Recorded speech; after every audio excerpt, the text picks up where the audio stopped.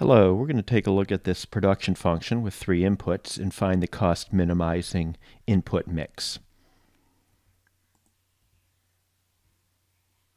So once again we have this firm's production function, function of labor, capital, and material. And the input prices are as follows. The price of labor, L, is $1. The price of capital, K, is $2. And the price of materials, M, equals $4. What is the cost minimizing input mix to produce 175 units of output? First thing we'll do is get the marginal product to labor, taking the partial derivative of this production function with respect to labor. Bring down the 1 half in front, and then subtract 1 from this exponent. Gives us the following result. And we can move this L to the minus 1 half power down into the denominator, and we get something like this.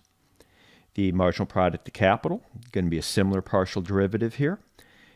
Uh, bring the 1 half down in front, subtract 1 from the exponent on the k term, and using the rules of exponents, moving this k to the minus 1 half down to the denominator, we have the marginal product to capital. And likewise, the marginal product of materials will have a similar looking uh, function as the prior two. Just rewriting those last three marginal products. Now we're going to take the marginal product of labor divided by the marginal product of capital, which is just a marginal rate of technical substitution of labor for capital. And we're going to set that equal to the ratio of the input prices, the price of labor to the price of capital. So plugging in for marginal product of labor, this result on top here. And then in the denominator, we plug in the marginal product of capital. And the price of labor we set is 1, and the price of capital is 2. And now we're just going to simplify this. So the 2's cancel, and then we multiply the denominator by k to the 1 half and the numerator by k to the 1 half, and we're left with this result. And if we cross multiply here, this L to the 1 half term, we have k to the 1 half equals L to the 1 half power divided by 2. I could solve for k, but just I'll just leave it in this uh, uh, format right now. And then we're going to calculate the marginal rate of technical substitution of labor for materials. So plugging in on the left-hand side the marginal product of labor and dividing it by the marginal product of materials and setting that equal to the price of labor, which is 1, divided by the price of materials, which is 4. And I'm going to solve this here. The 2's cancel as before multiplying the denominator through by m to the 1 half power and the numerator through by m to the 1 half power, you'll be left with this result.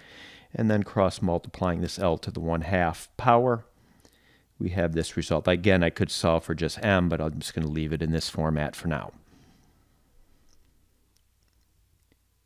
Rewriting our production function and rewriting some of our key results from the last slide and now making some substitutions where we have k to the 1 half power. We're going to replace that with L to the 1 half power divided by 2.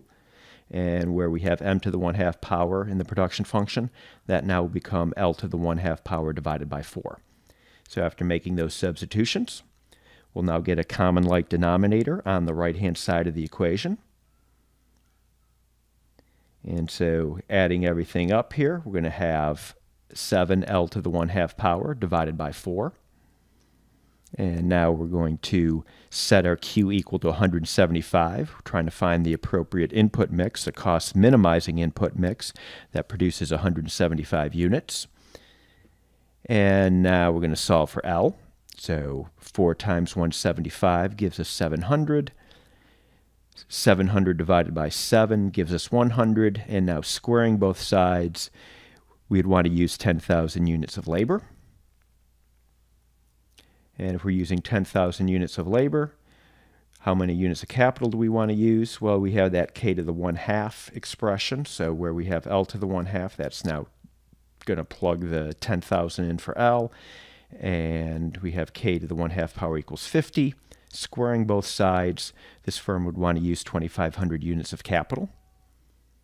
And to get the appropriate amount of materials, we saw an equation that said m to the 1 half power equals L to the 1 half power divided by 4.